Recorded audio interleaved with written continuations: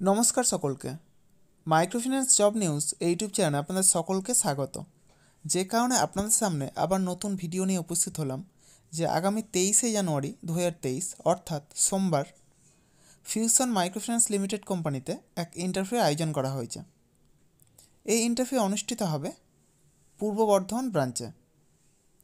যারা microfinance sector fresher, অর্থাৎ যারা কোনোদিনও মাইক্রোফিন্যান্স সেক্টরে কাজ করেননি অথবা অন্য কোনো ফিনান্সিয়াল সেক্টরে এক বছর বা তার বেশি সময় ধরে কাজ করছেন, উভয়ে এই ইন্টারভিউ অংশ নিতে পারেন।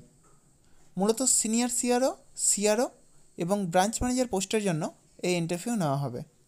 সিআরও এবং সিনিয়র সিআরও পোস্টের জন্য বয়স থাকতে হবে উনিশ থেকে আঠাশ বছরের মধ্যে এবং শিক্ষাগত যোগ্যতা অবশ্যই উচ্চ মাধ্যমিক পাস সিআরও পোস্টের ক্ষেত্রে যারা কোনোদিনও মাইক্রোফিন্যান্স সেক্টরে কাজ করেননি তারা এবং একই সাথে সিনিয়র সিআরও পোস্টের জন্য, যারা অন্য কোনো ফিনান্সিয়াল সেক্টরে এক বছর বা তার বেশি সময় ধরে কাজ করছেন, তারাই একমাত্র আবেদন করতে পারেন।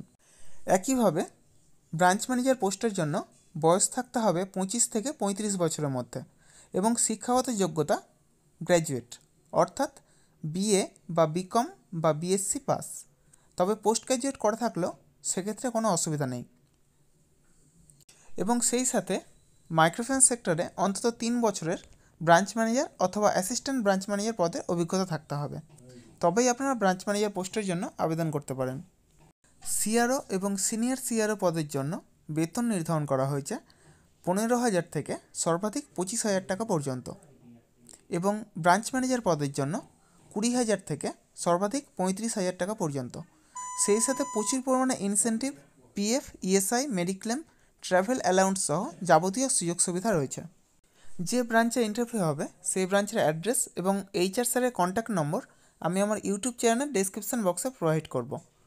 ইন্টারভিউয়ের দিন অবশ্যই Aadhaar card voter card PAN card driving licence এবং সেই সাথে শিক্ষাগত যোগ্যতা যাবতীয় প্রমাণপত্র নিয়ে সেখানে উপস্থিত হবেন।